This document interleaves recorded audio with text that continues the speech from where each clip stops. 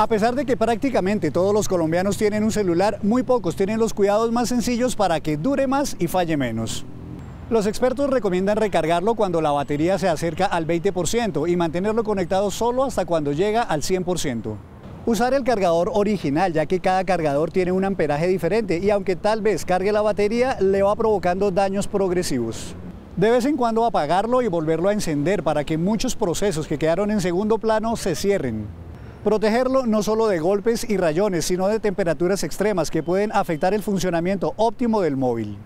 Descargar un antivirus que bloquee los software maliciosos y elimine archivos innecesarios que copan la memoria.